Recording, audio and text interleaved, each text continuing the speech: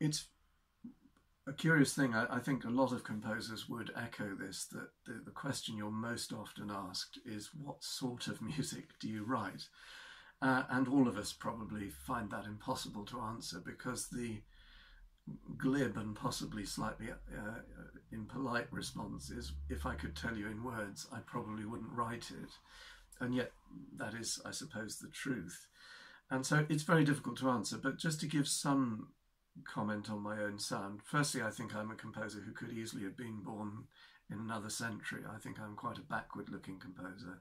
And so the roads less taken perhaps interest me more than trying to push forward um, into a, a, probably an ever reducing range of, of new options. Most things have been tried. There's a wonderful American composer at the moment, Paul Schoenfield, a bit of a maverick, and he wrote in one of his CD notes I knew long ago that Western music was all washed up, but I just went on doing it anyway. Well, that's good enough for me too, and that's what I do.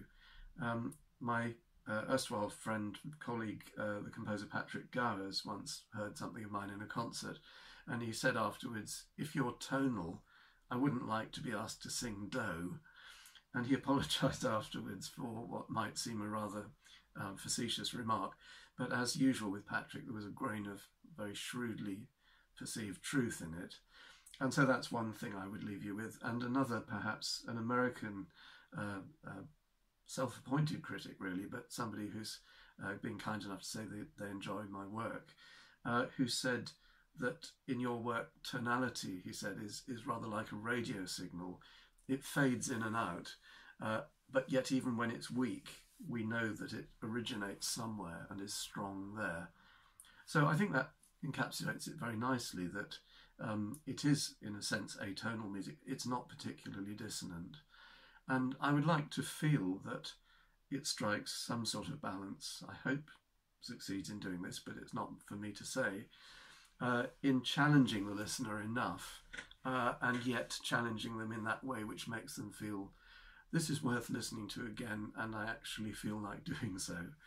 Uh, I have no idea whether that'll be the case, but the composer is a little like the evangelical with his sandwich board in the marketplace, who probably goes home thinking, if I got through to one person, that's been worthwhile. So I just hope I get through to one person.